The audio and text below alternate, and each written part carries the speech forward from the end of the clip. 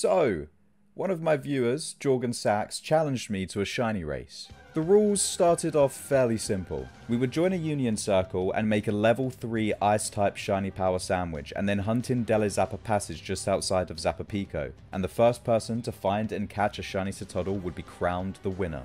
Neither of us really thought this hunt would take that long, but Cetoddle just didn't want to shine for either of us.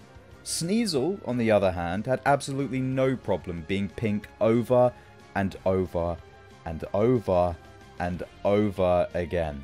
And on my fifth shiny Sneasel, I decided to attempt to bargain with the shiny gods. Why couldn't it have been you, huh? Oh, you caught me. See, a wise man once told me that to appease the shiny gods and get a shiny Cetoddle, there has to be a cost. Equal exchange. Goodbye, Sneasel.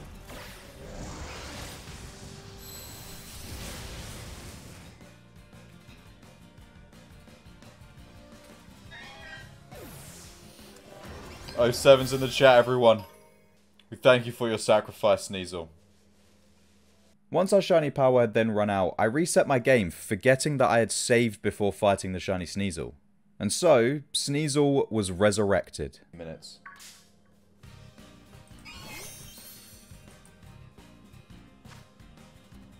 Wait, what? What just happened? Oh yeah, I saved.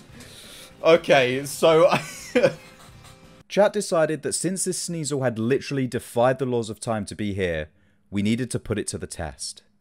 Yeah, kill it again, I guess. I was thinking, oh, I could get my Herbert back. No, you're not getting away. Come here.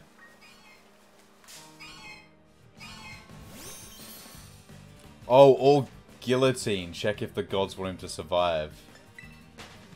Guillotine, for those of you that don't know, is a one-hit KO move with a 30% chance to hit. So, there's a 70% chance that Sneasel would continue to exist. It didn't. My Kingambit landed the move and Sneasel fainted. A second time.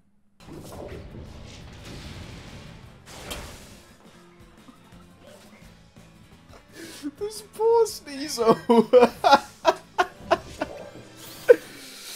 oh, brilliant. Okay, okay.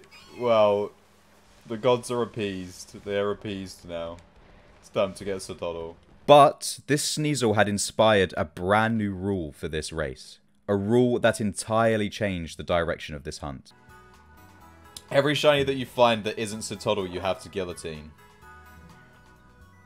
Yeah. Alright. You know what? You know, yeah, I like the sound of that. Every Pokemon that... Are we... Is this a joint thing? Is this a joint thing? Every single shiny that we find that is not a Cetoddle during this race, you have to use Guillotine on it at least once. Alright, deal. Shake on it. There's a lot of shinies here I don't have as well, so this is going to be risky. Now, we had actually missed one very important little detail on exactly how Guillotine works, but more on that later. And with my Kingambit, aptly named Grim, me and Jorgen continued this race with this new rule in mind. And after using Guillotine on only one more Sneasel, I found my shiny Cetoddle. Jorgen! It's a shiny Cetoddle! yes! You are not getting guillotined, my friend, but you are getting false swiped. Yes!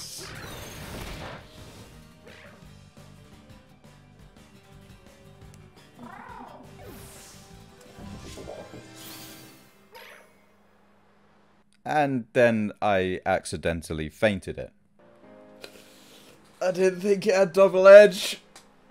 I didn't think it had double edge.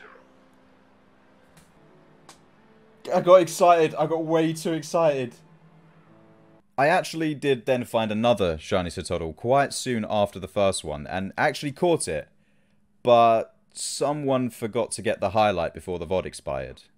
And that someone is me. But I did get it and evolved it, and here it is. All in all, during this race, me and Jorgen found 14 shinies between us. Five of which were fainted, including my first Cetoddle. Me and Jorgen then decided to do a second race with a slight alteration to the rules. You have to guillotine any shiny that isn't the target, but if the first shiny you find is the target, you also have to guillotine it. This time we were racing for Sandile in the desert with a ground sparkling power sandwich. A dark power sandwich would have been the better call to get Sandile, but we wanted as many other Pokemon to spawn as possible so that we could implement the guillotine rules. And we expected this race to last at least as long as the Cetoddle race, if not longer due to the amount of other Pokemon that were spawning. But nope, it lasted around 20 minutes. We started with me getting a pretty quick shiny Silicobra, which wasn't the target, so obviously I had to guillotine it, and unfortunately took it down. Wait. Wait, that... That is a shiny Silicobra, right?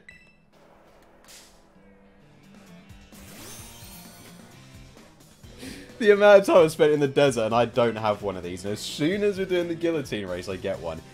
Okay. Come on. Let a guillotine, let a guillotine finally miss, please.